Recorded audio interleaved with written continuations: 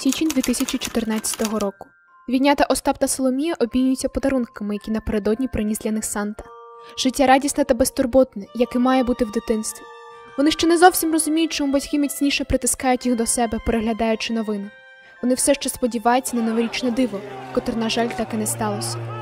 Перші заворушення в області налякали всіх і геть не давали надії на світле майбутнє. Червень 2014 року. День обіцяв бути чудовим, це ж перші дні літа. Невже його можна чимось зіпсувати? Виявляється, можна, наприклад, вибухом. Ці важкі місяці вони пам'ятатимуть все життя. Те, як сиділи в підвалах тижнями без світла й води, як мама тихо співала колискову під звуки вибухів та криків. Грудень 2014 року. Ті спроби виїхати з рідного Луганська, колись мальовничого й гарного міста. Їм все ж таки вдалося вибратися з пекла війни, і вони переїхали до Києва. Новий рік Остап та Соломія вирішили зустріти разом з друзями біля найбільшої ялинки країни.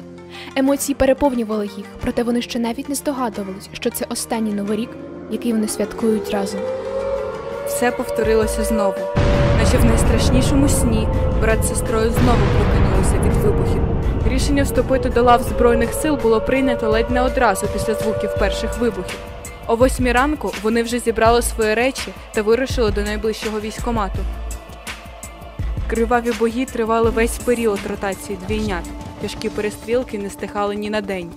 Кожнісінький міліметр землі коштував життя, і за клаптик рідної Луганщини Соломія віддала своє. Словами не передати горе хлопця, життєву трагедію.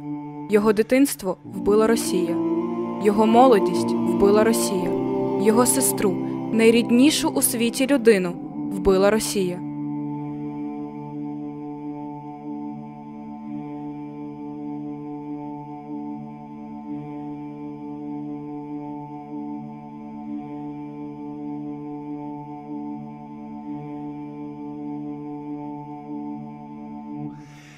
Мамко ж моя не лай мене,